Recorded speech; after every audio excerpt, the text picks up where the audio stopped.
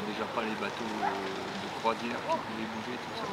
Et du coup, j'ai regardé les bateaux qui passaient au large et souvent c'était des bateaux qui venaient de, Chine ou je sais pas quoi. Enfin, le, commerce continuait son cours euh, de façon classique. ça passait par le canal de Suez.